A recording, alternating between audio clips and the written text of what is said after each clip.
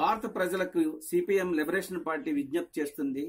ఈ ఎన్నికల్లో మీరందరూ పాల్గొని ఫాసిస్టు శక్తులను ఓడించాలని కోరుతుంది. ఆ సందర్భంగా లిబరేషన్ పార్టీ దేశ ప్రజల ముందు తన ఎన్నికల ప్రణాళికను ఉంచింది అందులో ఒక అంశాన్ని మీకు నేను వివరిస్తాను. ఈ దేశంలో ఉన్నటువంటి అత్యంత ధనిక వర్గం కోటీశ్వర్లు వారినే మనం సూపర్ రిచ్ అని అంటున్నాము. వారి సంపద పైన సంపద పన్ను అదేవిధంగా వారి సంపదలు వారి వారసులకి చెందేటప్పుడు వారసత్వ పన్నుని లిబరేషన్ పార్టీ అధికారంలోకి వస్తే విధిస్తుంది.